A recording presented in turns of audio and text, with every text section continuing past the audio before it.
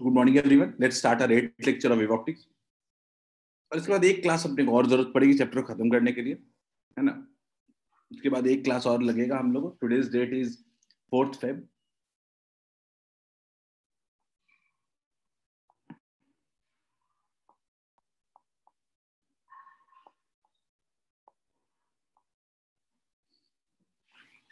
ठीक है? शुरू करते हैं यंग्स सिंगल स्लिट एक्सपेरिमेंट की बात करते हैं, जो लास्ट क्लास में हम बात कर रहे थे वर्किंग मैं जल्दी जल्दी रिपीट कर दूँगा। मैं रिकॉल करा देता हूँ लास्ट क्लास में हमने क्या पढ़ा था। तो यंग्स सिंगल स्लिट एक्सपेरिमेंट हम लास्ट क्लास में पढ़ रहे थे। अब यंग सिंगल स्लिट एक्सपेरिमेंट क्या था, थोड़ा देखना पड़ेगा अपने को। तो हमने देखा था कि मान लीजिए ये स्लिट है और ये मेरा क्या है सेंट्रल पोजिशन है। ठीक है? तो सेंट्रल पोजिशन पे अगर मैं गौर से देखूँ तो इसमें जितने भी लाइट रेज रहेंगे, सबका एक ऐसा कॉरस्पॉन्डिंग पॉइंट होगा लोअर हाफ़ में कि उसका पाथ डिफरेंस क्या रहे? ज़ीरो रहेगा। इसीलिए यहाँ पे क्या बनेगा? कंस्ट्रक्टिव सुपरपोजिशन करेगा। और सेंट्रल पॉइंट पे कहते हैं हम लोग, यहाँ पे मिल रहा है सेंट्रल मैक्सिमा क्यों? क्योंकि वहाँ यहाँ पे इंटेंसिटी जो होती है, वो ब्राइटेस्ट होती है। क्योंकि पूरा का पूरा स्लिट कंट्रीब्यूट कर रहा होता है इसमें। क्लियर है? पूरा का पूरा स्लिट कंट्रीब्यूट कर रहा होता है, इसीलिए जो सेंट्रल पॉइंट है, यहाँ पे अपने को मैक्सिमा मिलता है। इसके बाद मैंने एक बताया था आपको general condition for secondary minima central के बाद सेकेंडरी मैक्सिमा और सेकेंडरी मिनिमा होगा कोई भी कोई भी कोई भी जो होगा, वो सब सेकेंडरी होगा। तो हम लोगों ने अगला केस बात किया था सेकेंडरी मिनिमा जहाँ पे डार्क स्पॉट्स मिलेंगे हमको। तो डार्क स्पॉट्स के लिए हमने जनरल कंडीशन क्या लिखा था? जनरल कंडीशन में लिखा था कि हमारा ये जो डी है, ये जो डी क्या है, हमारा स्लिट का विथ है। ये जो हमारा डी है D sine theta must be equal to N lambda D sine theta must be N lambda general condition for minima जो है हमारा वो क्या है? D sine theta equals to N lambda इसी से हमारे को दो कंक्लूजन निकल के आए थे, याद होगा तो। D theta equals to N lambda और यहीं से आया था theta equals to N lambda by D clear है सबको? तो ये हमारा एन लैमडा बाई डी आया था।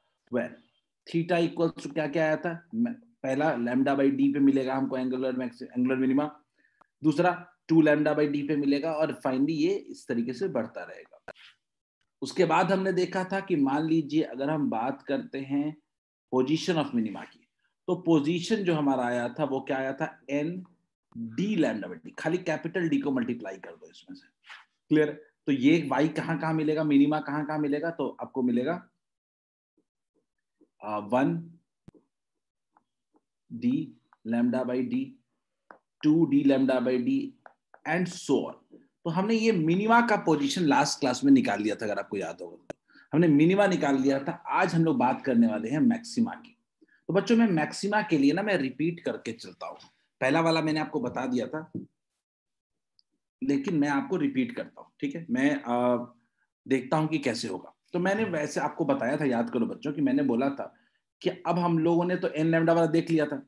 अब हम क्या करते हैं कि हमने लिया कि डी साइन थीटा मान लेते हैं। D sine theta is equal to मान लेते हैं कि ये कितना ले लिया हमने? Three lambda by two three lambda by two three lambda by two मान लीजिए हमने केस लिया D sine theta equals to three lambda by two case लिया और चेक करेंगे अब इसको। ठीक है? तो ये डी साइन थीटा क्या है बेसिकली तो डी साइन थीटा है जो एंड पॉइंट्स ए और बी से जो लाइट रह जाएँगे ए और बी से जो लाइट रहेंगे उनके बीच का ये पाथ डिफरेंस हमने लिया है। ठीक है? अब मैं केस ऐसे लेता हूँ कि हम क्या करते हैं, इस स्लिट को कुल तीन पार्ट्स में डिवाइड कर देते हैं। ठीक है? नाम दे देते हैं, मान लीजिए सी और डी तो मैं ऐसा कह सकता हूँ कि स्लिट को डिवाइड कर दिया है तीन पार्ट में, जिसमें A C equals to C D equals to D B equals to it's D by three clear है? तीनों का विथ डी बाई थ्री है। किसने किया स्क्रीन फ्रोज नहीं शिवम दिख रहा है स्क्रीन पे। ठीक है। खैर डी बाई थ्री तो बच्चों, अब हमने क्या किया कि हमने कोई दो कॉरस्पॉन्डिंग पॉइंट्स ले लिए। एक पॉइंट ले लिया एक्स और दूसरा पॉइंट ले लिया, हमने वाई और हमने कॉरस्पॉन्डिंग पॉइंट ऐसा लिया कि दोनों के बीच का दूरी कितना है? डी बाई थ्री है यानी हमने क्या consider consider two corresponding points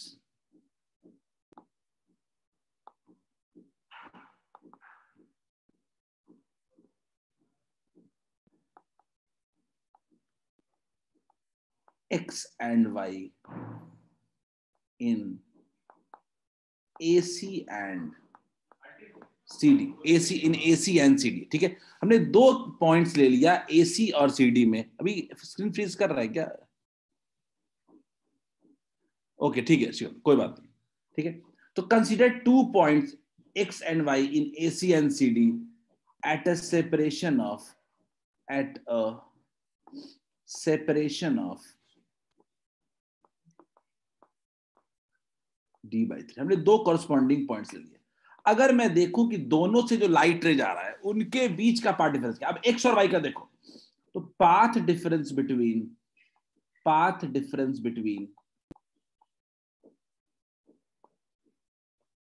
between X and Y X and Y से जो लाइट रे जा रहा है, उनके बीच का अगर पाथ डिफरेंस देखें तो पाथ डिफरेंस बहुत क्लियर हो जाएगा। डेल्टा एक्स इक्वल टू क्या हो जाना चाहिए? D by three sine theta ये दोनों के बीच की दूरी कितनी है? डी बाई थ्री और थीटा मेरा क्या है बेसिकली एंगल है।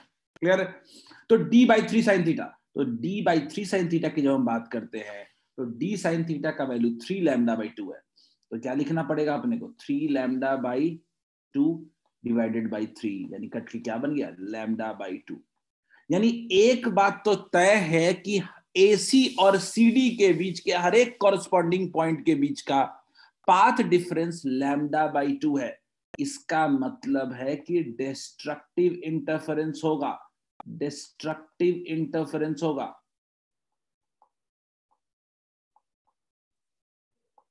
इसका मतलब है कि AC and CD AC and CD ये जो पूरा का पूरा AC और CD रीजन है shows destructive superposition destructive superposition. Hence hence, maxima is obtained. Maxima तो obtain हो रहा है। आपका सवाल होगा, सर, जब डिस्ट्रक्टिव हो गया तो मैक्सिमा कैसे ऑप्टेन हो गया? बच्चों, गौर से देखो, आपका वो दोनों भले कैंसिल आउट हो गया है, लेकिन आपका डीबी डीबी आपका पूरा का पूरा लाइट जो जाएगा, वो रीच करेगा और वो आपको क्या होगा, दिखाई देगा। इसीलिए हम लोग कहते हैं कि अब जो पूरा का पूरा इंटेंसिटी होगा लाइट का मैक्सिमा का, वो क्या हो जाएगा? वन बाई थर्ड हो जाएगा। ओनली वन बाई थर्ड यानी intensity intensity will be what intensity क्या हो जाएगा? वन बाई थर्ड हो जाएगा। Intensity will be I by three क्यों इंटेंसिटी वन बाई थर्ड हो जाएगा? क्योंकि आपके स्लिट विथ का एक बटा तीन पोर्शन ही कॉन्ट्रीब्यूट कर रहा है। क्या पूरा स्लिट विथ कॉन्ट्रीब्यूट कर रहा है क्या? बोलिए। क्या आपका पूरा स्लिट विथ कंट्रीब्यूट कर रहा है क्या? आप बताओ मुझे। मैं कह रहा हूँ कि पूरा डी है था। डी में दो पार्ट कैंसिल कर दिया एक दूसरे को। तो बचा कौन सा? बचा आपका सिर्फ़ एक डीबी तो सिर्फ़ डीबी कंट्रीब्यूट कर रहा है और एसी और सीडी एक दूसरे को कैंसिल आउट कर दिया। तो इसीलिए कहते हैं मैक्सिमा तो मिलेगा, लेकिन कम इंटेंसिटी का। क्लियर है? बच्चों में, बच्चों कंडीशन जनरल कंडीशन समझने के पहले ये क्लास में कल कल लिखाया हुआ है तो अब लिखने की ज़रूरत नहीं है। तो बच्चों जनरल कंडीशन बनाने के पहले हमको एक और केस स्टडी कर लेना चाहिए। तो बच्चों, मैं क्या करता हूँ यहाँ पे? कि मैं यहाँ पे सिंपल सा एक केस लेता हूँ कि मान लीजिए कि आपका पाथ डिफरेंस जो है, यानी अगर मैं बोलूँ कि ये ए पॉइंट है और ये बी पॉइंट है। इन दोनों के बीच का पाथ डिफरेंस कितना होता है? डी साइन थीटा होता है। डी साइन थीटा इसका वैल्यू अगर मैं फाइव लैमडा बाई टू दे दू फाइव लैमडा बाई टू दे दू। ठीक है? फाइव लैमडा बाई टू दिया। तो क्या करेंगे? तो बच्चों फाइव दिख रहा है ना, मैं आपको सिर्फ़ इतना कहूँगा कि पाँच पार्ट में डिवाइड कर दो इसको।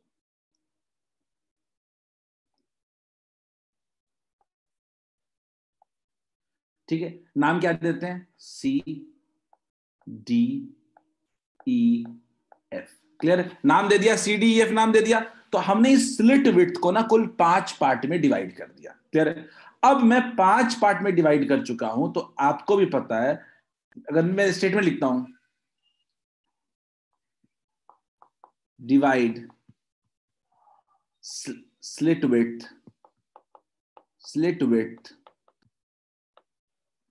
into five equal, into five equal parts, five equal parts. Clear पाँच इक्वल पार्ट में हमने इसको डिवाइड कर दिया।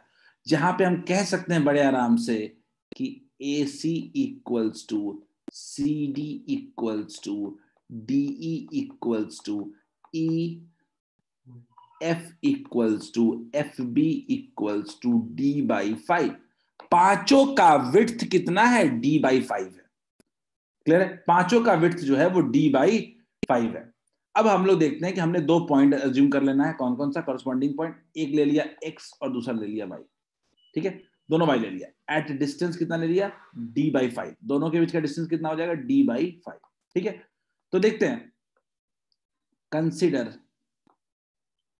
consider X and Y be two correspondent points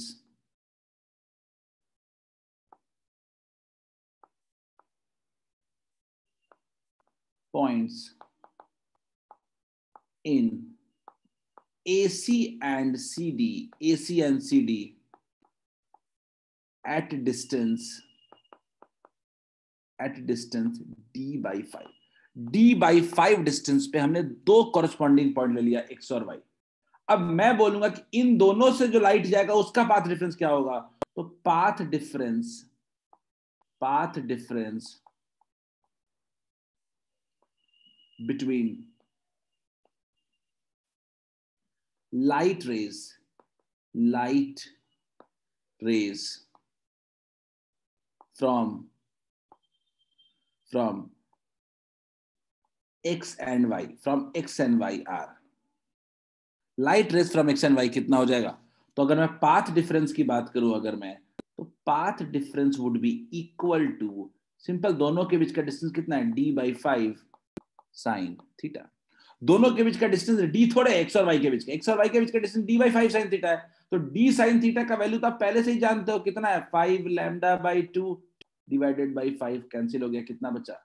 lambda by two अच्छा इससे ये क्लियर भी होता है क्या? कि ये again A C and C D दोनों जो होगा, पूरा का पूरा डिस्ट्रक्टिव सुपर पोजिशन शो कर देगा। क्या हम नहीं कह सकते क्या? A C and C D will show will show destructive superposition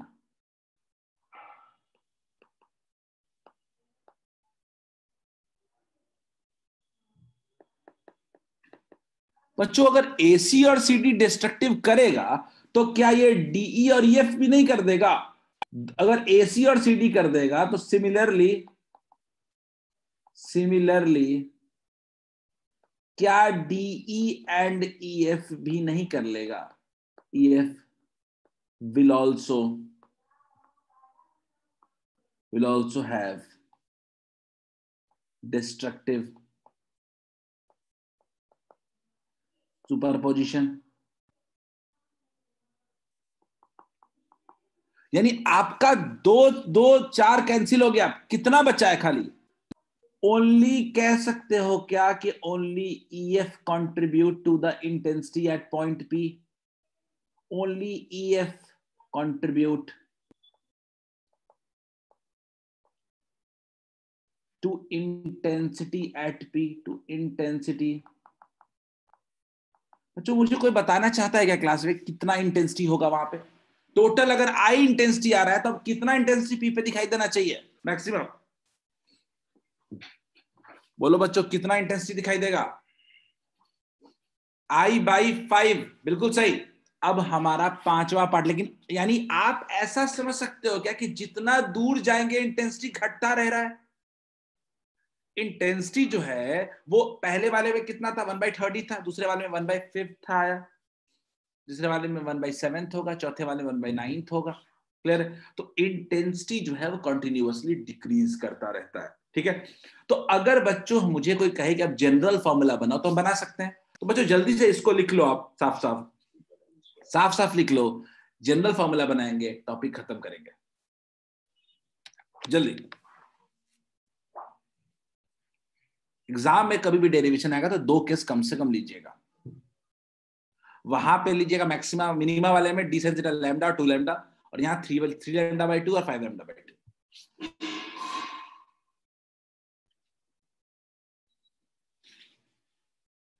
जल्दी नोट कर ले इसको।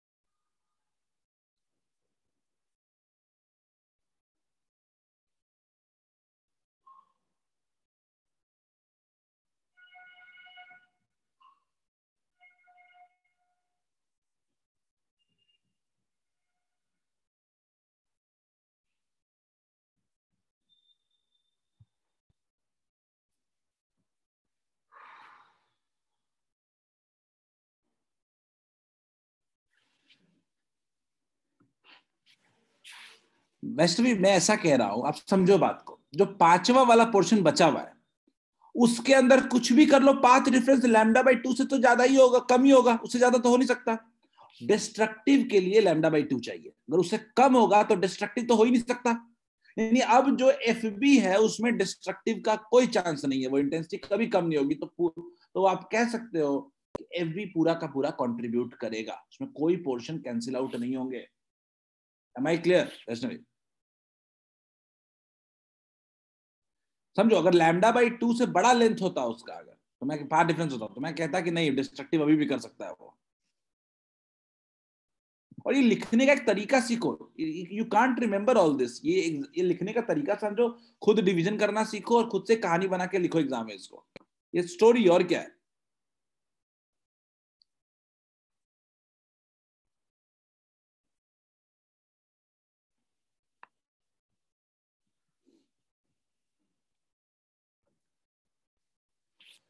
नोट कर लें, फिर मैं आपको जनरल फॉर्मूला की तरफ़ बढ़ूँगा और फिर पूरा एक पैटर्न दिखाऊँगा आपको, कैसा पैटर्न दिखता है।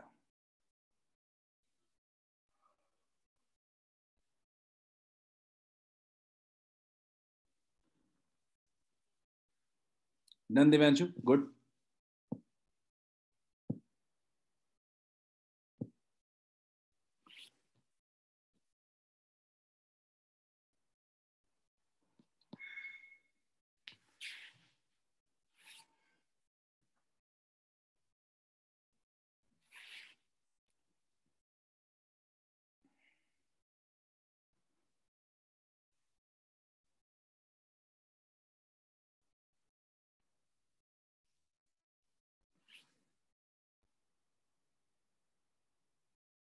चलो बच्चों आगे बढ़ते हैं। बच्चों, मैं जनरल कंडीशन की तरफ़ थोड़ा बढ़ना चाहूँगा। जनरल कंडीशन देखते हैं। बच्चों, मैं अगर एक रैंडम एंगल थीटा मान लू, अगर एक अगर एक रैंडम एंगल थीटा मान लू मैं, ठीक है? थीटा इसको रिप्रेजेंट करते हैं पोजीशन को थीटा से और इसको प्रोजेक्ट करते हैं बेसिकली पोजीशन वाई से। ठीक है? दो चीज़ें थीटा और वाई ठीक है? तो मेरा जनरल कंडीशन से शुरू करते हैं, मेरा जनरल कंडीशन जो होगा वो क्या होगा? D sine theta d sine theta equals to two n plus one lambda two हमारा जनरल कंडीशन जो होगा, वो होगा d sine theta equals to two n plus one lambda by two clear है? D sine theta equals to होगा two n plus one lambda by two आगे बढ़ते हैं बच्चों। अब थोड़ा अगर इसके आगे देखें अगर तो हम लोग देखते हैं कि अगर for as angle is very small तो क्या लिख सकते हैं? D theta d theta equals to कितना हो गया? Two n plus one lambda by two तो थीटा इक्वल्स टू आता है two n plus one lambda by two d गौर से देखिए बच्चों, यहाँ पे गौर से देखते हैं हम लोग कि अगर मैं अगर मैं ऐसा बोलूँ कि थीटा की वैल्यू क्या क्या पॉसिबल है तो थीटा की वैल्यू जो पहला पॉसिबल है वो कितना है? एन का वैल्यू वन से शुरू होगा। एन का value start from one to up to n तो क्या लिख सकते हैं? Three by two lambda by d अगला कितना होगा? Five by two lambda by d seven by two lambda by clear है? ये मेरा सारा का सारा एंगुलर पोजिशन ऑफ़ मैक्सिमा है। एंगुलर पोजिशन ऑफ़ मैक्सिमा ये मेरा क्या है? ये मेरा एक तरीके से angular position of maxima angular position angular position of maxima और मैक्सिमा कहना ठीक नहीं है सेकेंडरी मैक्सिमा क्लियर है? Angular position of secondary maxima clear है? ये आपका पहला पार्ट हो गया। अगर आपको पूछे कोई कि वाई कितना होगा तो आप वाई लिखिए वाई के लिए कुछ नहीं करना, आपको कैपिटल डी से मल्टीप्लाई कर देना है खाली। तो two n plus one d lambda by two d two n plus one d lambda by two d where where y equals to होगा, y इक्वल्स टू होगा। Three by two d lambda by d five by two d lambda by d and so on clear है? इसको कह सकते हैं हम लोग। Sorry इसको कह सकते हैं हम लोग position of position of secondary maxima of maxima clear तो ये आपका जनरल कंडीशन है और पोजीशन है। ध्यान दीजिए, किसी को कोई भी दिक्कत है तो पूछ सकते हो। यानी याद रखना है बस कि, याद रखना है बस कि, याद रखना कि जो मैक्सिमा होता है मैक्सिमा होता है वो odd multiples of lambda by two वाले पे होता है lambda by d two d पे होता है, ठीक है? और और उसमें अगर देखें तो इवन मल्टीपल पे होता है मिनिमम में। जल्दी लिखने में आपको, जल्दी लिखने में आपको एक साथ पूरा समझाऊँगा कि कहाँ मैक्सिमम और कहा मिनिमम मिलेगा हमको।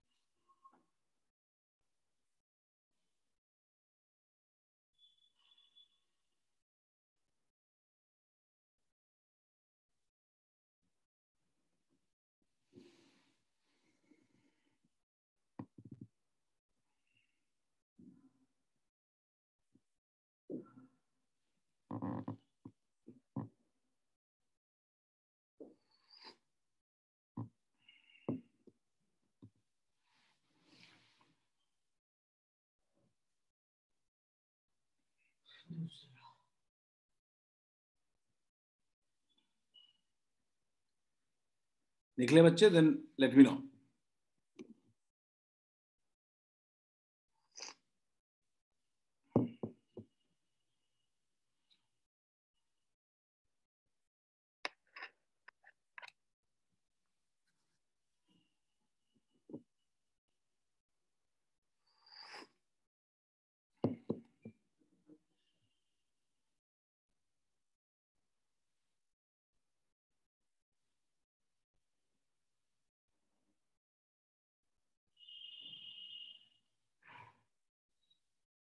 लिख लिया अंजन लिख लिया very good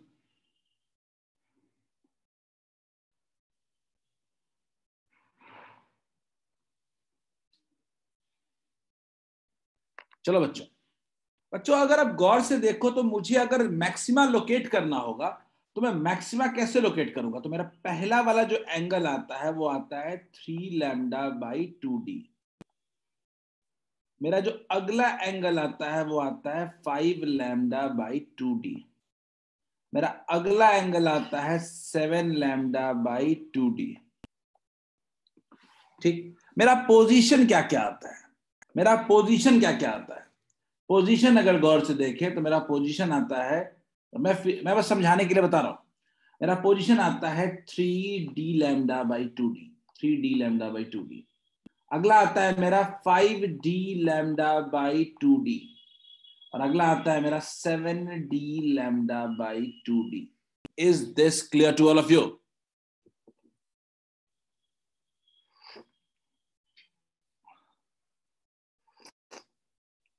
is this clear बच्चों, ये समझ लो खाली, क्योंकि अगला दो फिगर में ही अपना सब कुछ क्लियर करेंगे हम लोग। पूरा ये डिफ्रैक्शन टॉपिक कैसा रहा है, ये अगले दो फिगर में क्लियर करेंगे हम लोग।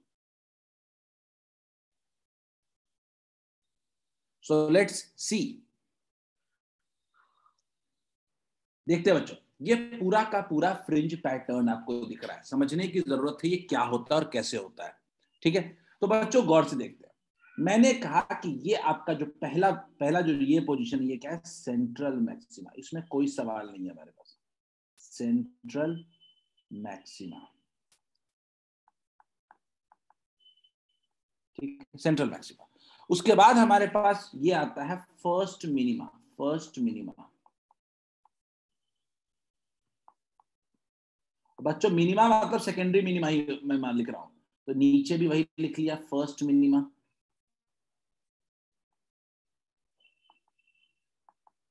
सेंट्रल मैक्सिमा के बाद दोनों तरफ़ आता है फ़र्स्ट मिनिमा फिर आता है हमारा फ़र्स्ट मैक्सिमा फ़र्स्ट मैक्सिमा फिर आता है सेकंड मैक्सिमा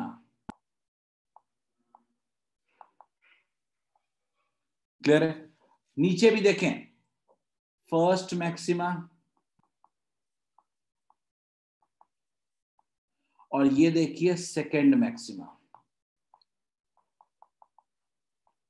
और यहाँ पे देखिए सेकंड मिनिमा और ये देखिए सेकंड मिनिमा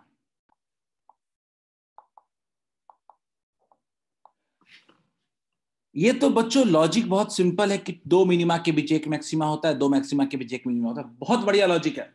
लेकिन जो सबसे बड़ा जो पॉइंट है, वो पॉइंट है इसका सेंट्रल फ्रिंज पैटर्न आप गौर से देखिए, गौर से देखिए, ये पूरा का पूरा जो बीच का फ़र्स्ट मिनिमा से लेकर फ़र्स्ट मिनिमा तक जो है, इसको कहते हैं central fringe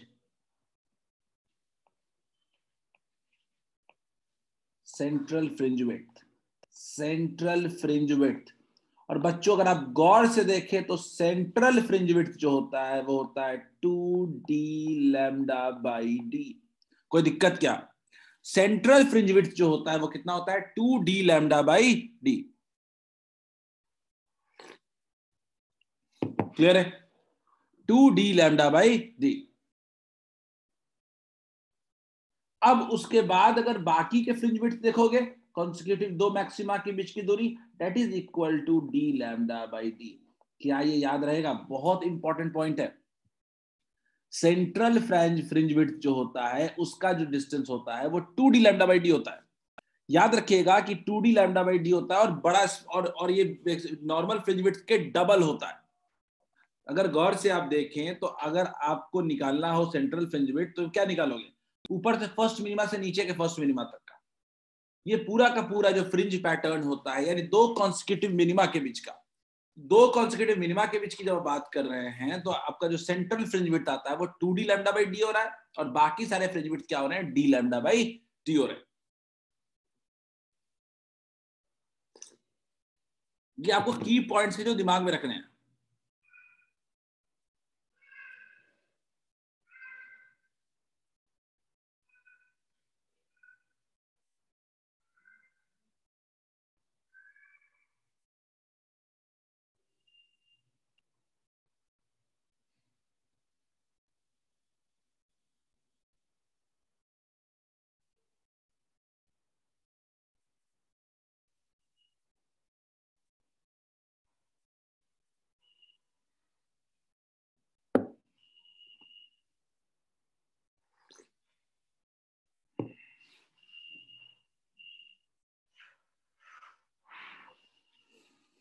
आई होप सबको बच्चों ये समझ में आ गया होगा कि फ्रिंज पैटर्न स्क्रीन पे कैसा दिखता है, लेकिन सबसे इंपॉर्टेंट है ये फ्रिंज पैटर्न होता कैसा है, देखते हैं। इससे ज़्यादा क्लैरिटी आपको मिलेगी हमारे इस फिगर में। देखो गौर से। एंड आई होप कि आप इसको रिलेट कर पाओगे। कोई भी fringe pattern diffraction fringe pattern जो होता है, वो इसी शेप का दिखता है हमेशा। गौर से देखिए, ये अब यहाँ लोकेट करना बहुत आसान है। अब गौर से मैं करी देखिए, मैं लोकेट कर रहा हूँ हर चीज़ को। आप खुद देखिए, ये मेरा सेंट्रल मैक्सिमा है। सेंट्रल मैक्सिमा चेक कीजिए यहाँ का इंटेंसिटी क्या यहाँ पे इंटेंसिटी सबसे ज़्यादा नहीं है क्या? सेंट्रल मैक्सिमा यहाँ पे इंटेंसिटी सबसे ज़्यादा है। और उसके दोनों तरफ़ क्या मिलता है पहले? फ़र्स्ट मिनिमा फ़र्स्ट मिनिमा और इधर भी क्या है? फ़र्स्ट मिनिमा और इन दोनों के बीच का जो डिस्टेंस है, ये पूरा का पूरा बीच का जो मैक्सिमम इंटेंसिटी का जो फ्रिंज पैटर्न है, ये होता है two d lambda by d I hope ये सबको क्लियर हो रहा होगा।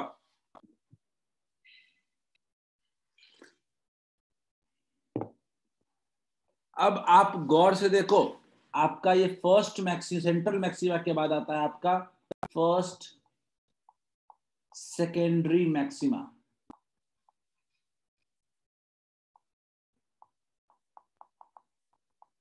और ये आपका आ रहा है सेकेंड सेकेंडरी मैक्सिमा दोनों में फ़र्क देख लो क्या फ़र्क हो रहा है। रीजन आप जानते हो क्यों? क्या इंटेंसिटी बहुत तेज़ी से घट नहीं रहा है क्या मैक्सिमा मैक्सिमा में? क्या इंटेंसिटी जो हो रहा है वो कॉन्टिन्यूसली डिक्रीज नहीं कर रहा है क्या? सारे फ्रिंज विथ क्या हाफ़ नहीं है क्या विथ के as compare to central fringe width बस इतना ही जानना है आपको।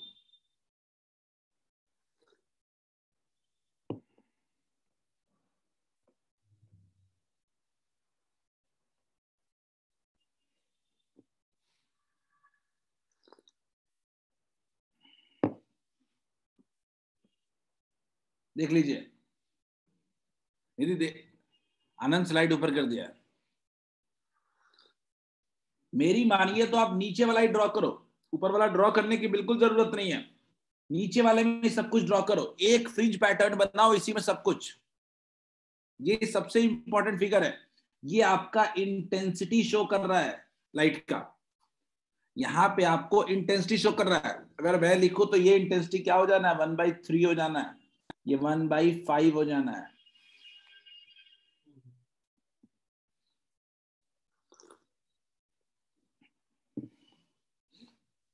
बहुत तेज़ी से इंटेंसिटी घट रहा है।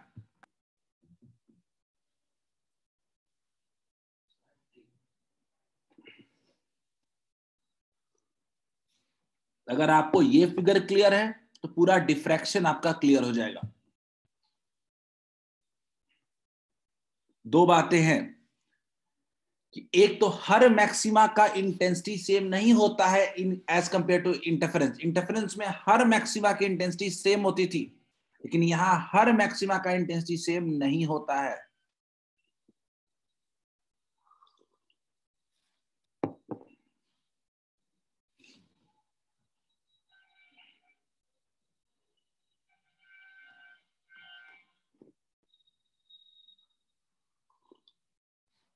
डिफ्रैक्शन की खासियत ही यही है।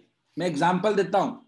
मान लीजिए कि आप किसी होल से लाइट को इंसिडेंट करोगे तो होल के जो सामने वाला पोर्शन होगा, वहाँ इंटेंसिटी सबसे ज़्यादा ब्राइट होगा और धीरे धीरे इंटेंसिटी घटता जाता है। यही जनरली डिफ्रैक्शन का पैटर्न बनता है। किसी भी होल से लाइट इंसिडेंट करोगे तो होल के सामने वाला जो पोर्शन होगा, वो तो बिल्कुल ही ब्राइट स्पॉट होगा विद मैक्सिमम इंटेंसिटी उसके चारों तरफ़ को देखोगे तो इंटेंसिटी हल्की सी लाइट हो जाती है, कम होती है। ये आप घर पे भी चेक कर सकते हो, किसी होल से लाइट पास करा के। बहुत क्लियर पैटर्न भले ना आए, लेकिन दिख जाएगा आपको ये चीज़।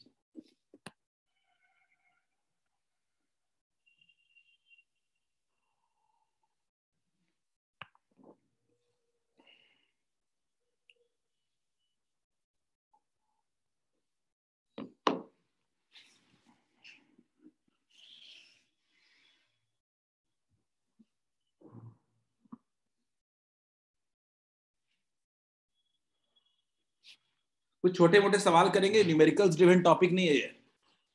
डिफ्रैक्शन जो है वो न्यूमेरिकल्स ड्रिवन टॉपिक नहीं है टॉपिक नहीं है तो थोड़े मोटे सवाल करेंगे और आगे बढ़ेंगे हम लोग इससे। आज हम लोग डिफ्रैक्शन पूरा खत्म कर लेंगे, एक दिन अपने को पोलराइजेशन लगेगा। विल ट्राई कि हम संडे को खत्म कर लें इसको। संडे को विल ट्राई कि पोलराइजेशन खत्म करके आगे बढ़े। संडे या मंडे किसी दिन भी।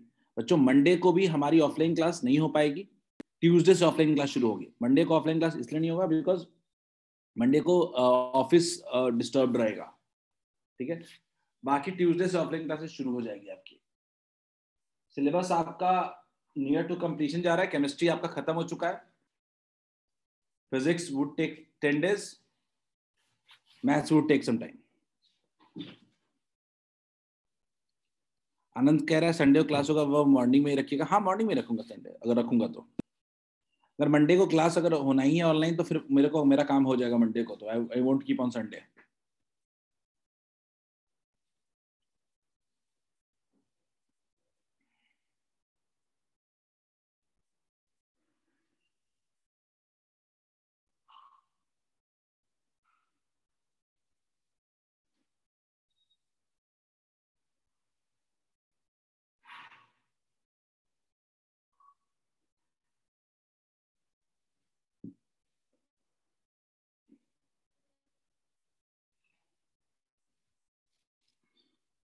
बोलो, हुआ? हो गया तो जल्दी से क्वेश्चन करो एक। आसान सवाल दे रहा हूँ। आसान सवाल दे रहा हूँ। लॉजिक से क्लियर होगा।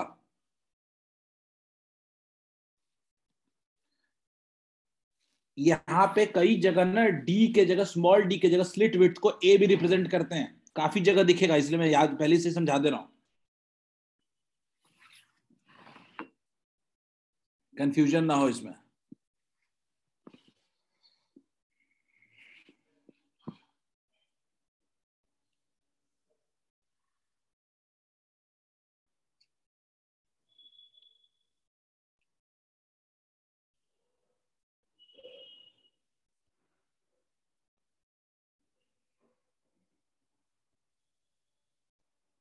और मैं मैं अगर ऐसा बोलूँ तो मेजोरिटी जगह 90 परसेंट जगह पे डी की जगह यही लिखेगा।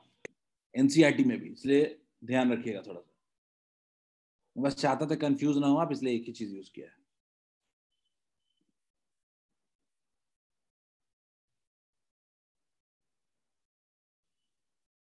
अभी तक 11 में से आठ रिप्लाई बिल्कुल सही है। याद करो कंडीशन ऑफ़ डिफ्रैक्शन थोड़ा एक बार नोट्स में देख लो एक बार, क्या था? कंडीशन ऑफ़ डिफ्रैक्शन क्या था?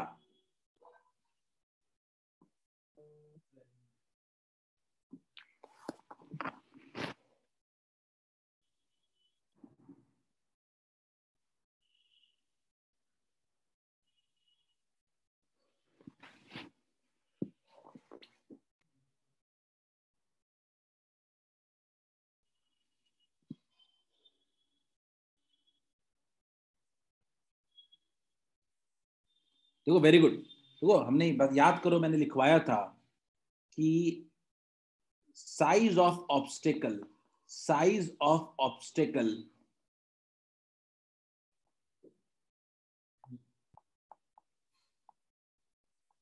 must be comparable must be comparable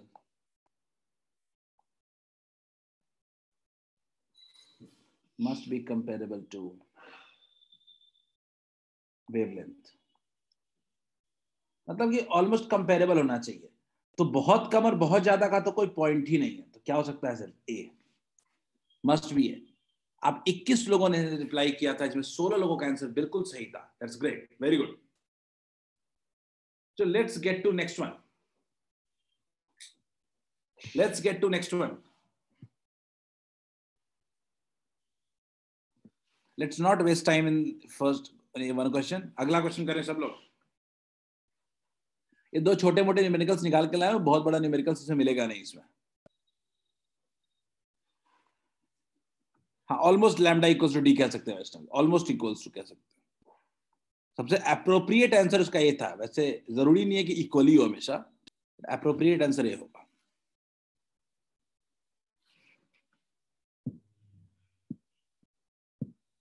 देखते हैं कितने लोग ये सही बताते हैं।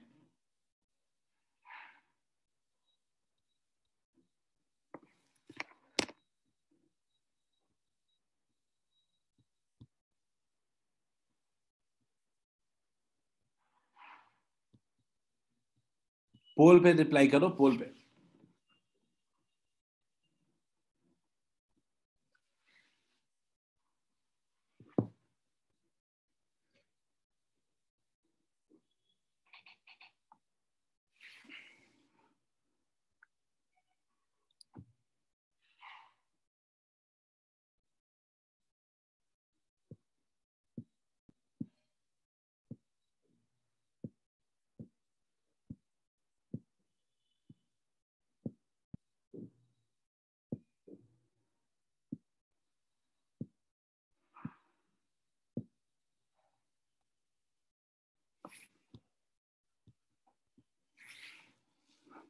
देखते निधि लेट्स वेट सबको सबका आंसर आ जाने देते अभी तक हमारे पास नौ रिप्लाईज आए हैं।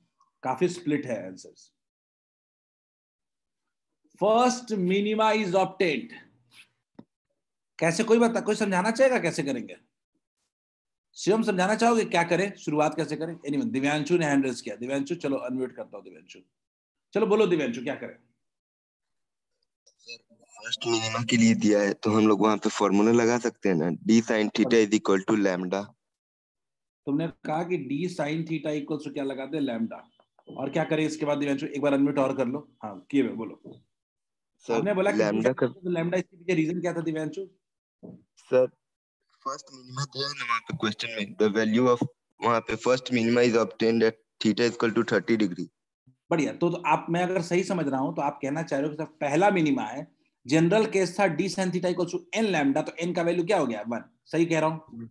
यस सर चलो अब बोलो अब आगे क्या क्या पुट करें? सर लैम्डा का वैल्यू दिया है ना six six five double zero six five double zero बोलते चलो मैं लिखता चलता हूँ। हम्म और डी डी मतलब अभी आपने बताया था ना डी और ए मतलब सेम ही होते हैं।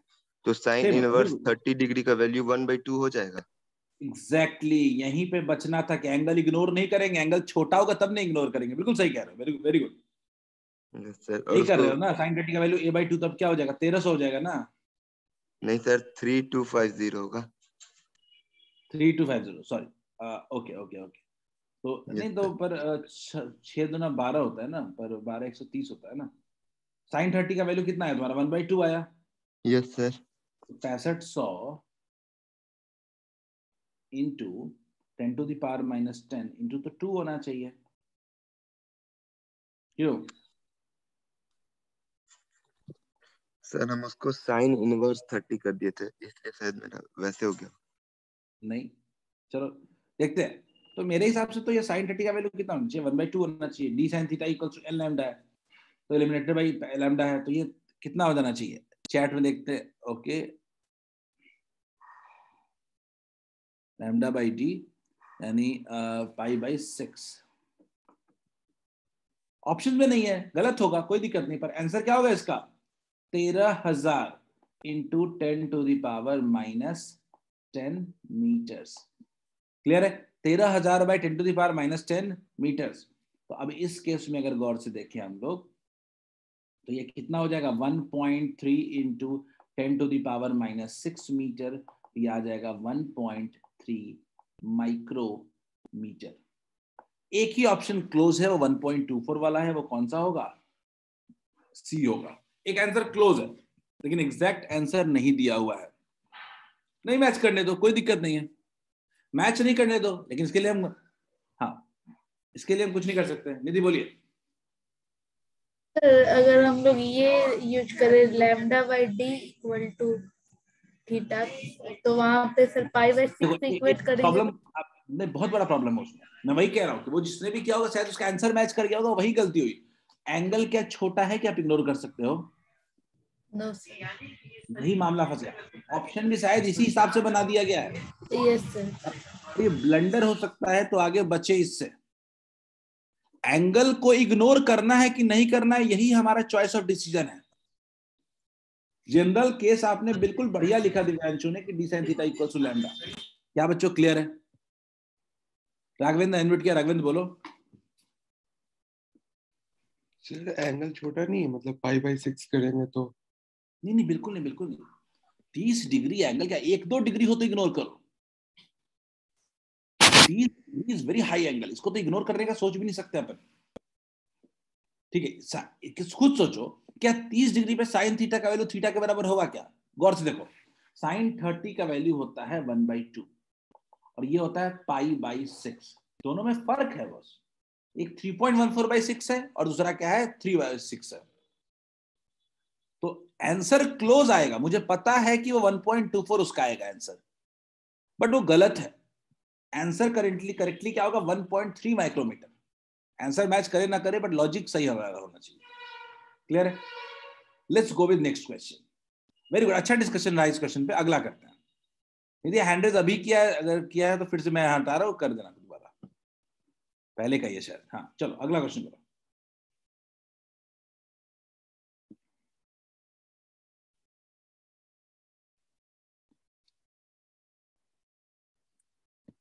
ये उम्मीद करता हूँ सबसे बनेगा।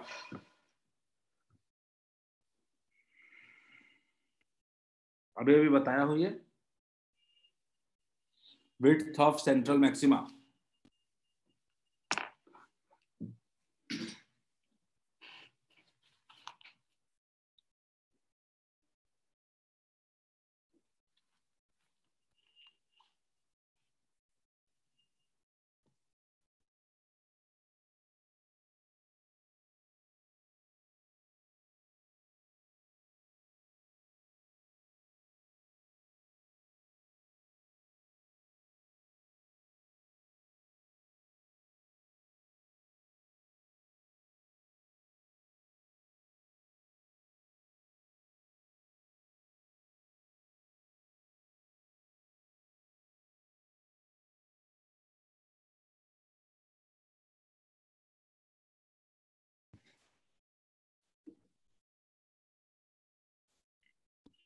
अभी तक हमारे पास चार रिस्पॉन्स आए, इतना इतना कम, जल्दी कर लो।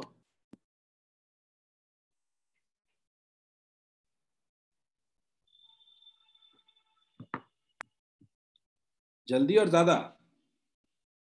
दोनों चाहिए।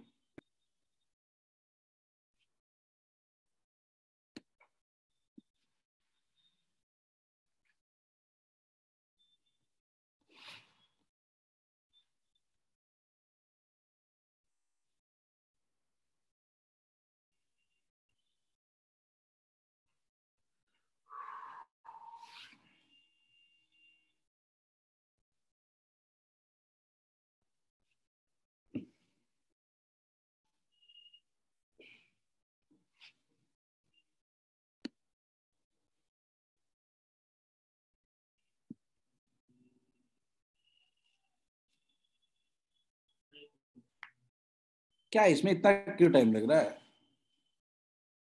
ये simple central fringe width central fringe width का सिंपल सा है बीटा सेंट्रल का होगा two into D lambda by D तो two into capital D capital D का मतलब है कितना दूर है, यानी 2.1 metre lambda five into ten to the power minus five into ten to the power minus two metre by small D zero point one five into ten to the power minus two गया।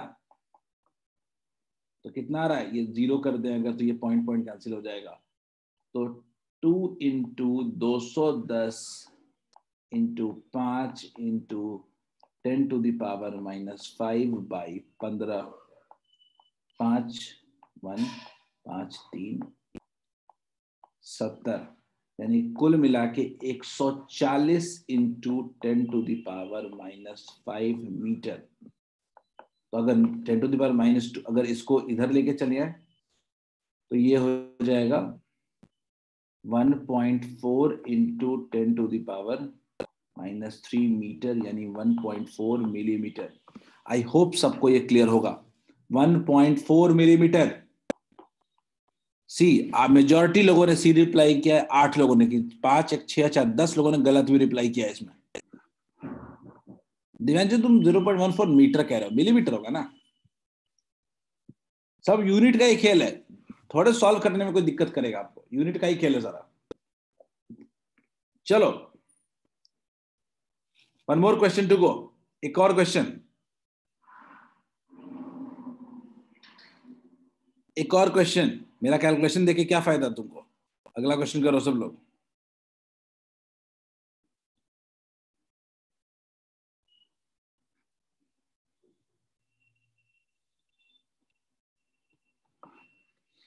Angular width beta of centre maxima और diffraction single slit does not depend upon किस चीज़ पे depend नहीं करेगा। किस चीज़ पे डिपेंड नहीं करेगा? बोलो इससे आसान सवाल क्या ही दूँगा।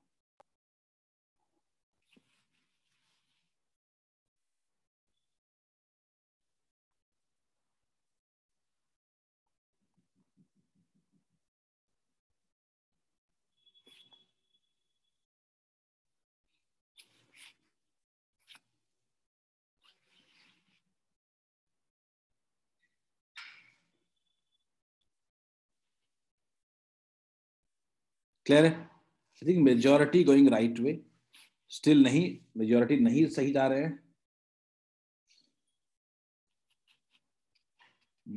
कंफ्यूजन हम्म, तो हुआ है इसमें। तेरह लोगों ने रिस्पॉन्ड किया है और बिल्कुल फिफ्टी फिफ्टी चल रहा है अभी मामला। ए और डी के बीच लड़ाई है सारी। अच्छा एंगुलर विथ जो है वो कैपिटल डी पे डिपेंड करता है क्या? चैट में बताओ। क्या एंगुलर फ्रिंज विथ जो है, क्या वो कैपिटल डी पे डिपेंड करता है क्या? सोच लो एक बार। फ्रिंज विथ नहीं बोल रहा हूँ। एंगुलर फ्रिंज विथ क्या कैपिटल डी पे डिपेंड करता है? निधि, ध्यान से। फ्रिंज विथ तो कैपिटल डी पे डिपेंड करता है, टू डी लैम्डा बाई क्या एंगुलर फ्रिंज विथ डिपेंड करता है क्या? नहीं अगर करता है तो पहला विकेट तो गिर गया।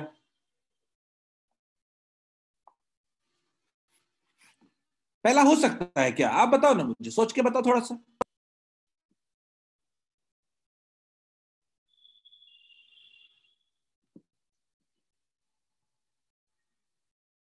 अब कई लोगों के मन में डाउट है, सर, फिर फ्रीक्वेंसी को भी क्यों ना टिक लगा है बच्चों फ्रीक्वेंसी पे डिपेंड करेगा। वेवलेंथ फ्रीक्वेंसी एक दूसरे से रिलेटेड है। क्लियर है? तो वेवलेंथ अगर चेंज होगा तो फ्रीक्वेंसी भी चेंज होगा तो उस पर डिपेंड कर जाएगा। विथ ऑफ़ स्लिट यानी स्मॉल डी पे डिपेंड कर जाएगा। तो इसीलिए इसका करेक्ट आंसर जो होगा, वो होगा ए क्लियर है क्या? Correct answer would be A fifty fifty लोगों ने लगाया था, सही और गलत। ये कैपिटल डिवाइड क्योंकि आपको फ्रिंज विथ दिखा। फ्रिंज विथ दिखा और एंगुलर फ्रिंज विथ में फ़र्क नहीं समझ में आया आपको। क्लियर है? चलिए। आई होप सबको समझ में आ गया होगा। Angular fringe width central maximum का टू लैमडा बाई डी होगा। और फ्रिंज विथ क्या होगा? Two D lambda by D होगा। ठीक है? चलिए। बच्चों, एक चीज़ पे बात करने वाले हम लोग आज रिजोल्यूशन बड़ा इंपॉर्टेंट टॉपिक है, पंद्रह मिनट लगेगा टॉपिक खत्म हो जाएगा ये, ठीक है? और डिफ्रैक्शन खत्म हो जाएगा डिफ्रैक्शन का आखिरी टॉपिक है। रिजोल्यूशन बच्चों, कितने लोगों ने कैमरे वैमरे में रिजोल्यूशन सब सुना है क्या? कैमरे में रिजोल्यूशन कितने लोगों ने कैमरे में रिजोल्यूशन नाम का शब्द सुना है? सुना नहीं है, बहुत अच्छा रिजोल्यूशन है, बहुत खराब रिजोल्यूशन है। होता है ना कैमरा खरीदने जाते हो तो पूछते हो ना किसका रिजोल्यूशन ज़्यादा है? पता भले नहीं होता क्या होता है रिजोल्यूशन लेकिन एटलीस्ट यू नो वेल कि एक रिजोल्यूशन नाम की एक चीज़ होती है। ठीक है? कैमरे वगैरह में काफ़ी ये शब्द यूज़ होता है रिजोल्यूशन क्या होता है रिजोल्यूशन को समझा सकता है क्या शॉर्ट में ब्रीफ में? एनीवन राघवेंद्र समझाएगा। राघवेंद्र बोलो। सर अमाउंट ऑफ़ पिक्सल जिसके ऊपर लाइट अमाउंट ऑफ़ मतलब एरिया अमाउंट ऑफ़ पिक्सल मतलब 644 into 1080 या 1280 वाला। पिक्सल ज़्यादा तो एक मेज़रमेंट का तरीका है ठीक है? पर पिक्सल एग्जैक्टली नहीं है। तुमको मैं रेजोल्यूशन का मतलब बताऊँगा तब तुम रिलेट कर पाओगे। रुक जाओ थोड़ा सा बाकी लोग को देख लेते हैं और कोई बताना चाहता है? और कोई? एनीवन एल्स कोई रिजोल्यूशन का मतलब कैमरे का रिजोल्यूशन बताओ मुझे। कैमरे के रिजोल्यूशन में what do you mean lord मैं तुमको जाके बोलूँ कि इस कैमरे का रिजोल्यूशन बहुत अच्छा है तो तुम क्या समझोगे इसका?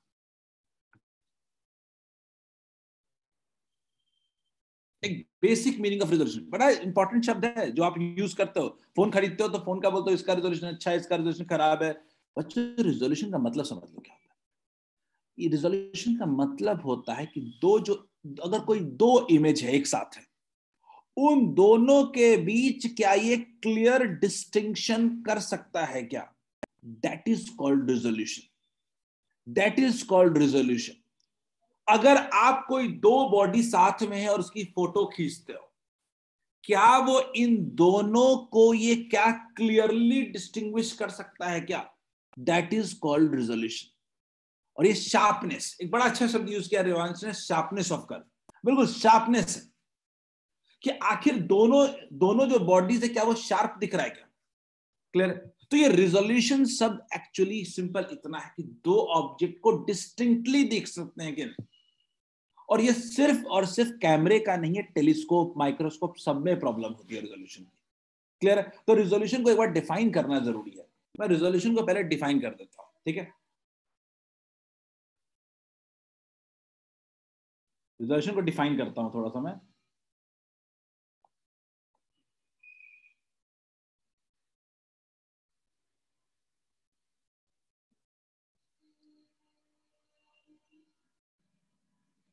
द फेनोमिनन ऑफ़ डेफिनेशन लिख रहा हूँ, लिख लो आप लोग भी। The phenomenon of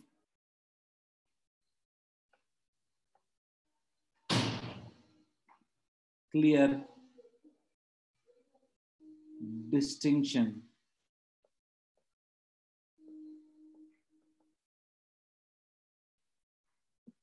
Of two bodies.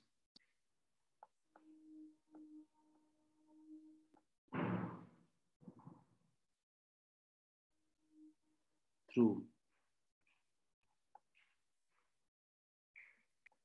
Optical.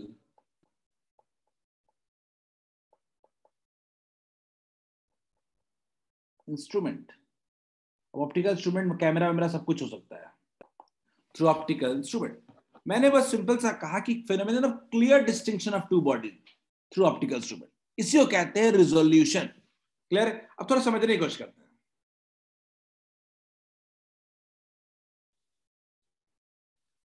देखिए, बताए। अब मैं इसको समझाने के लिए थोड़ा कुछ तरीका यूज़ करता हूँ। मैं ऐसे कहता हूँ कि मान लो कि मैं इस, इसको और इसको, दो बॉडीज को देख रहा हूँ, ठीक है? दो बॉडीज को मैं देख रहा हूँ। तो जब मैं दोनों बॉडीज को देख रहा हूँ तो दोनों बॉडी का जो इमेज हमारे ईयर्स पे हमारे आईज पे बनता है ईयर्स बोल रहा हूँ। हमारे आँखों पे जो इमेज बनता है, वो एक सिंपल स्पॉट नहीं बनता है। वो एक डिफ्रैक्शन पैटर्न बनता है। और वो डिफ्रैक्शन पैटर्न कैसा होता है, देखो गौर से। यानी ये तो आपका जो बीच में दिख रहा है, ये आपका क्या है सेंट्रल मैक्सिमा है। बीच वाला स्पॉट आपका सेंट्रल मैक्सिमा है। लेकिन गौर से देखो, ये हल्का हल्का लाइट होता हुआ ये क्या है एक तरीके से? ये एक तरीके से फ्रिंज पैटर्न बन रहा है क्या? डिफ्रैक्शन पैटर्न बन रहा है क्या? बोलिए बच्चों, क्या ये एक डिफ्रैक्शन पैटर्न नहीं बन रहा है क्या? यानी कहने का मतलब ये है कि, कहने का मतलब ये है कि हमें एक डिफ्रैक्शन पैटर्न मिल रहा है, ना कि एक सिंपल डार्क स्पॉट मिल रहा है। यानी आपको लगता है कि आप किसी बॉडी को देखते हो क्लियर वही दिखाई देता है। नहीं। वो बॉडी का हमको एक तरीके से डिफ्रैक्शन पैटर्न दिखता है। जितना दूर बॉडी होगा, उतना क्लियर डिफ्रैक्शन पैटर्न हम, हमारे आईज पे बनेगा। तो ये डिफ्रैक्शन पैटर्न बन गया। तो मैं स्टेटमेंट मैंने लिखा है कि a point object is ima, imaged through circular opening or aperture like a lens or our से या तो लेंस से देखो या तो आइरिस से देखो। The image form is not a point image कोई पॉइंट की तरह नहीं बनता। ये एक्चुअल प्रैक्टिकल चीज़ है ये। ध्यान देखना बच्चों, ये प्रैक्टिकल चीज़ है। ठीक है? एक्चुअली हम ऐसा मानते नहीं है, पर रियल सीनरी में देखोगे तो यही होता है। Form point but a diffraction pattern एक डिफ्रैक्शन पैटर्न हमारे आईज में बनता है। एक का बने, कोई दिक्कत नहीं है। क्लियर देख लेंगे हम लोग। अगर कोई एक का, अगर इस तरह का बनता है तो कोई दिक्कत नहीं है। लेकिन अगर किसी दो क्लोजली प्लेस्ड बॉडीज को अगर आप देखते हो, तब तकलीफ़ आएगी। तब दोनों का डिफ्रैक्शन पैटर्न बनेगा। देखते हैं बच्चों। जल्दी लिख लो। तीस सेकंड देता हूँ, जल्दी लिख लो इसको। और इस फिगर को मत बनाना अभी। इस फिगर को मत बनाना, अभी अगले केस में और अच्छे से फिगर दूँगा।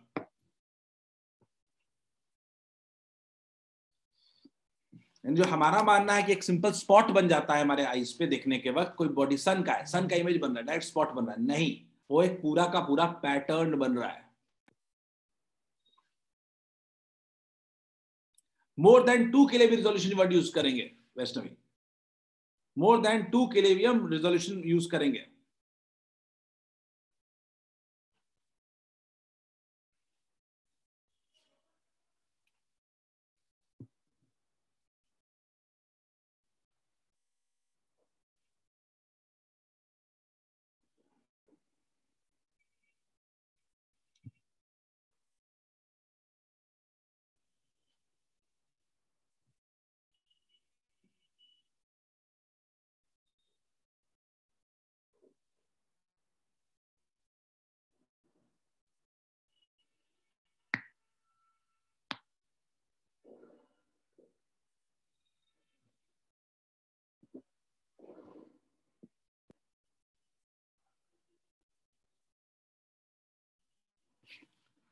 बच्चों, ये वाला आपको बहुत बड़ा क्लैरिटी दे रहा होगा। क्या ये क्लैरिटी दे रहा है क्या कुछ? इसको देखो एक बार खाली, समझो कि आपको कुछ डिफ्रैक्शन पैटर्न समझ में आ रहा है क्या? जी देख के बताओ खाली बस आप। क्या आपको एक बॉडी का जो इमेज हमारे आईज पे बनता है, क्या वो क्लियर समझ में आ रहा है क्या? क्या ये बहुत हद तक ये सिंपल आपको इमेज दिख रहा है? ये डिफ्रैक्शन पैटर्न नहीं दिख रहा है क्या? Bright spot dark spot bright spot dark spot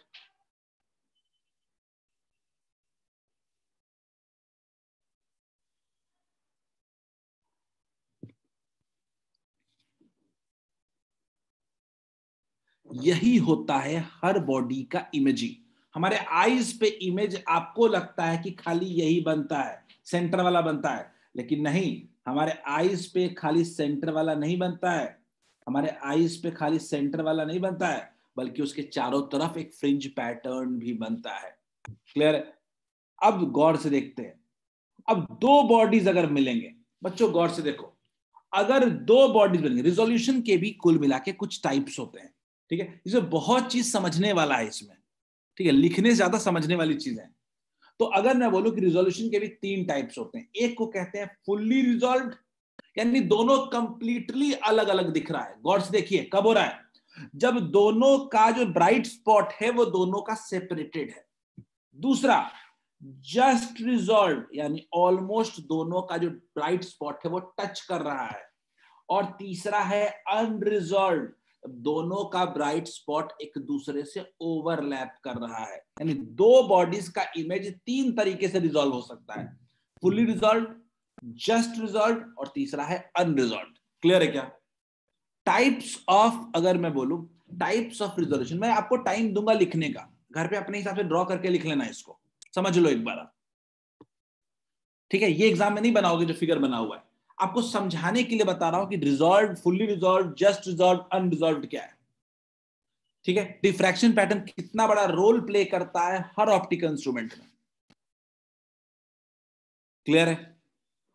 इसको अगर आपको समझना है हमारे डिफ्रैक्शन पैटर्न से तो पहला देखो फुल्ली रिजॉल्व ध्यान से देखिएगा बच्चों। फुल्ली रिजॉल्व गौर से देखें तो फुल्ली रिजॉल्व का जो सेंट्रल मैक्स सेंट्रल फ्रिंज है, ये दोनों एक दूसरे से काफ़ी सेपरेटेड है। क्लियर है? तो ये आराम से आप कह सकते हो कि ये क्या है? फुल्ली रिजॉल्व है। इनका फ़र्स्ट मिनिमा भी ओवरलैप नहीं कर रहा है। सेकंड मिनिमा भी ओवरलैप नहीं कर रहा है सेकेंड मिनिमा ओवरलैप कर रहा है। तो इसीलिए हम कह सकते हैं कि ये रिजोल्यूशन क्या है? फुल्ली रिजॉल्व है। ठीक है? ये सब फिगर आपको बस ड्रॉ करने की आदत होनी चाहिए थोड़ी सी। एग्ज़ाम में एक दो नंबर का आ सकता है ये। दूसरा देखो बच्चों। दूसरा देखो जस्ट रिजॉल्व देखो बच्चों जस्ट रिजॉल्व ये जस्ट रिजॉल्व जर्नी हम लोग क्या कहते हैं, समझो? हम लोग जस्ट रिजॉल्व कहते हैं कि जब आपका जब आपका मिनिमा एक एक मिनिमा आपका सीधे सीधे क्या कर जाए? ओवरलैप कर जाए। वैसे ये जस्ट रिजॉल्व वाला शब्द जनरली कोई क्लियर क्लियर डेफिनेशन नहीं है ये। ठीक है? जनरली हम मानते हैं कि हमारा सेंट्रल मैक्सिमा क्लोज आया है पर ओवरलैप नहीं किया है। ठीक? इसको कहते हैं हम लोग, इसको कहते हैं हम लोग जस्ट रिजॉल्व तीसरा, गौर देख लीजिए। क्या दोनों का पैटर्न ओवरलैप नहीं कर गया है क्या? दोनों का पैटर्न ओवरलैप कर गया है। इसको क्या कहेंगे हम लोग? अनरिजॉल्व बोलिए क्लियर है just give me thirty seconds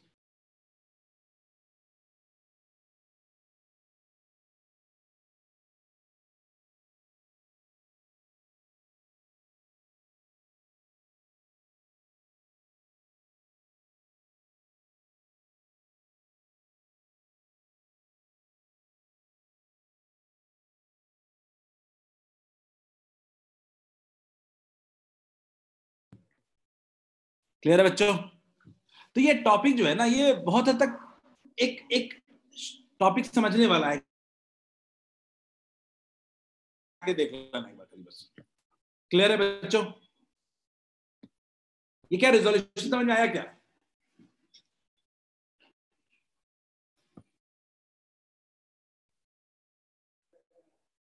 exam में ये एक दो नंबर का आ जाता है। मैं इसीलिए कह रहा हूँ कि आप इसमें छोड़ के मत जाना, नहीं जाओ इसको। अगर आप देखोगे तो जो दो पेज एनसीआरटी में दिया हुआ है ठीक ठाक वो अलग बात है कि दो पेज में आपको समझ में बहुत दस परसेंट भी नहीं आया शायद। इतना कॉम्प्लिकेटेड लैंग्वेज में चीज़ें दी गई। ठीक है? बच्चों, दो चीज़ें हैं यहाँ पे। मैं आपको एक याद करने को बोल रहा हूँ। अगेन लॉजिकली नहीं फॉर्मूला याद करना है इसको। ठीक है? देखो टेलीस्कोप और माइक्रोस्कोप दो बड़े इंस्ट्रूमेंट्स हैं जिसको हम लोग डिटेल में पढ़ते हैं। ठीक है? टेलीस्कोप में अगर हमको कोई दो बॉडी को क्लियरली देखना है अगर, दो बॉडी को हमको क्लियरली देखना है तो उनके बीच का जो एंगुलर सेपरेशन होना चाहिए, वो होना चाहिए 1.22 lambda by D angular separation ठीक है? ये आप लिख लो। ये आपको मैं लिखने को बोल रहा हूँ, जल्दी से लिख लो। Angular separation for telescope for resolution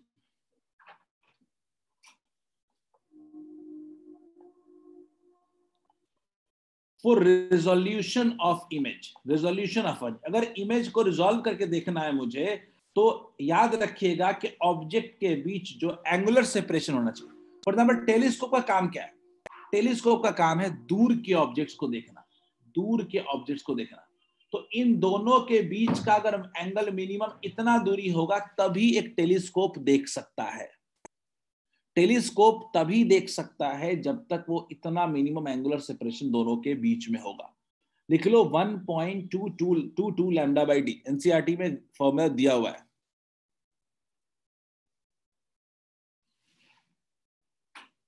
और याद रखना, एक टर्म और आता है resolving power resolving power of telescope resolving power कुछ नहीं होता है just reciprocal of angular separation है डेल्टा थीटा रिजॉल्विंग पावर कहते हैं हम लोग one by delta theta resolving power होता है वन बाई डेल्टा थीटा यानी टेलीस्कोप के लिए दो टर्म्स डिफाइन किए गए हैं। एक है angular separation for clear resolution of image सबसे ज़्यादा दिक्कत रिजोल्यूशन की टेलीस्कोप में ही होती है। जब दो स्टार्स बहुत क्लोज आ जाते हैं, दिखाई नहीं देते।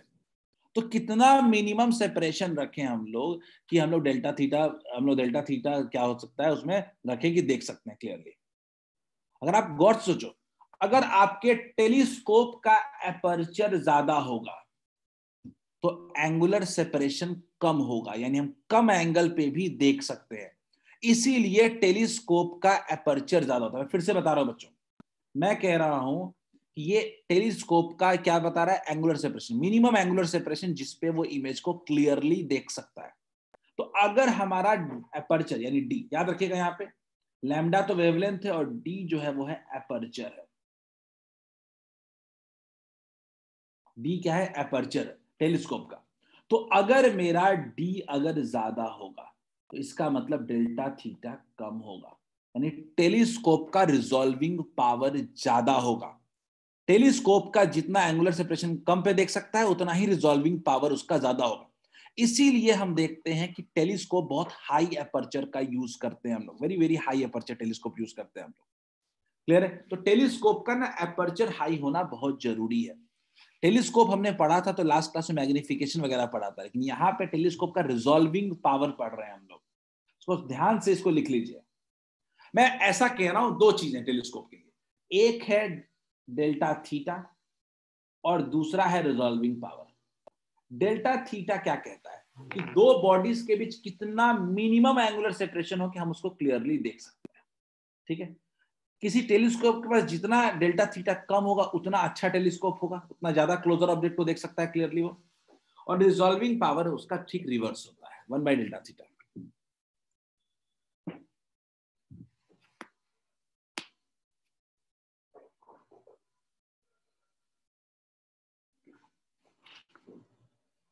मैं अगर आपको टेलीस्कोप में रिजोल्विंग पावर पावर याद करवाता तो आपको समझ में नहीं आता कि क्यों कर रहे हैं हम लोग। रिजोल्यूशन होता क्या है? इसीलिए हम इसको यहाँ पढ़ा रहे हैं। रे ऑप्टिक्स में भी ये रिजोल्यूशन शब्द यूज़ किया गया है। टेलीस्कोप में और माइक्रोस्कोप में।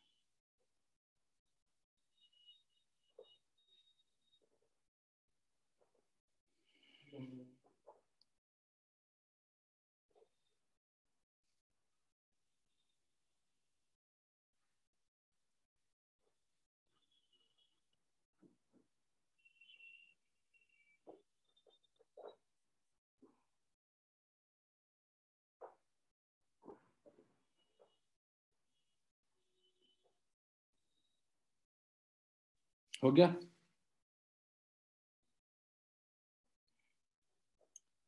अब बच्चों माइक्रोस्कोप की बात करते हैं हम लोग। माइक्रोस्कोप माइक्रोस्कोप में याद रखिएगा, दो बॉडी यानी दो माइक्रो ऑर्गेनिज्म को क्लोजली अगर हमको देखना है तो उन दोनों के बीच का जो मिनिमम सेपरेशन होना चाहिए मिनिमम सेपरेशन दोनों के बीच का जो होना चाहिए, वो क्या होना चाहिए? Lambda by two N sine theta where theta is the angle formed by two body clear तो याद रखिएगा lambda lambda by two N sine theta ठीक है? अब इसका भी रिजॉल्विंग पावर अगर देखोगे रिजॉल्विंग पावर देखोगे तो रिजॉल्विंग पावर माइक्रोस्कोप का भी जो होता है, वो होता है one by delta D clear N बोले तो रिफ्रैक्टिव इंडेक्स है। एन बोले तो ये अपर्चर के साइज़ पे डिपेंड नहीं करता है। ये दो फॉर्मूले में बस इतना कहता हूँ, आप याद रखो। और माइक्रोस्कोप में सेपरेशन डिस्टेंस और टेलीस्कोप में एंगुलर सेपरेशन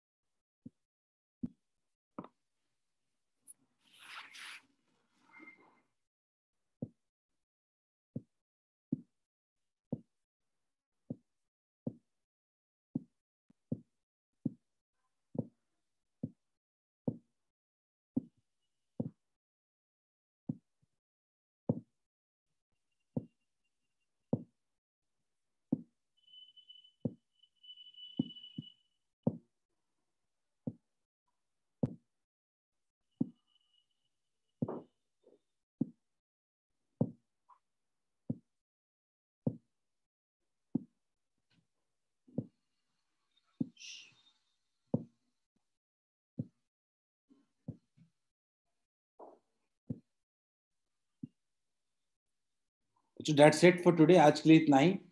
अगले दिन हम पोलराइजेशन शुरू करेंगे। एक दिन का लेक्चर है, पूरा खत्म हो जाएगा। संडे या मंडे किसी एक दिन उसको खत्म करेंगे।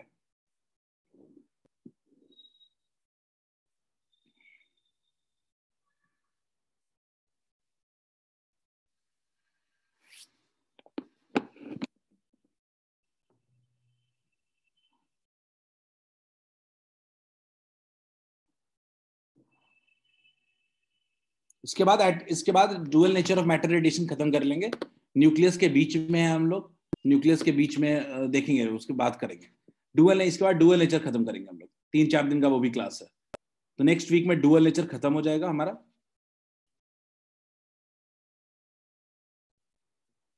और डुअल नेचर के बाद हम लोग सेमी कंडक्टर भी दो क्लास तीन क्लास का टॉपिक है। अब हार्डली हम दस तेरह चौदह तक सिलेबस खत्म कर लेंगे अपना। हमारे दो बड़े चैप्टर्स थे खत्म हो चुके हैं। एक बड़ा चैप्टर हमने खत्म पहले ही कर लिया था एटम्स दोनों बैच में एटम्स खत्म हो गया था।